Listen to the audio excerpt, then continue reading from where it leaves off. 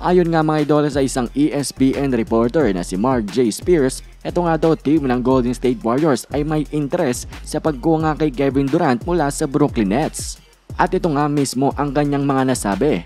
It's no surprise to me that Warriors have interest in Kevin Durant according to sources.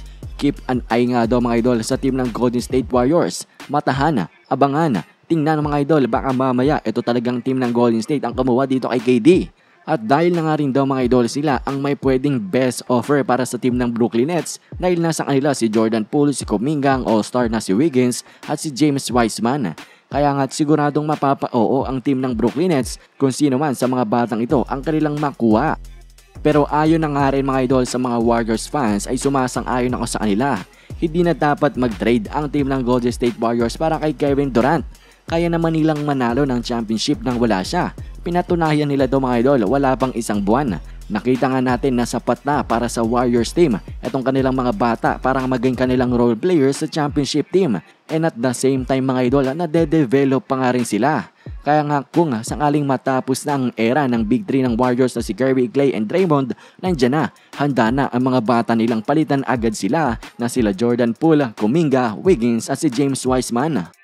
Kaya nga mga idol, matalino sigurong move kung hindi na lang makikialam ito nga ang team ng Golden State Warriors sa paghabol kay Kevin Durant. Pero hindi tayo mga idol ang magdedesisyon yan kung di ang front office ng Warriors, sila Bob Myers. Kaya nga abangan natin mga idol kung ano ba ang mas matimbang para sa kanila. Ito bang superstar na si Kevin Durant or ang kanilang mga batang player na may magandang ang future at potential? Pero anyways nga mga idol, tanong ko nga sa inyo, sa tingin nyo kapag napunta muli itong si KD sa Warriors, ilang championship ang kanilang mapapanalunan? Komento nyo lamang ang inyong mga opinyon.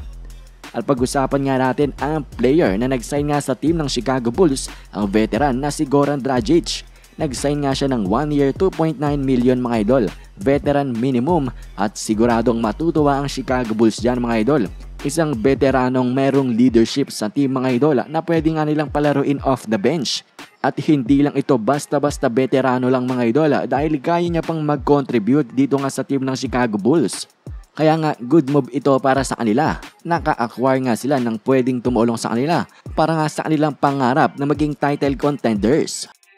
Sa ating panghuling balita na nga mga idol, itong si Luka Doncic ay sobrang excited na makita nga itong si Dirk Nowitzki na panoorin nga siya sa kanyang laban sa Sweden.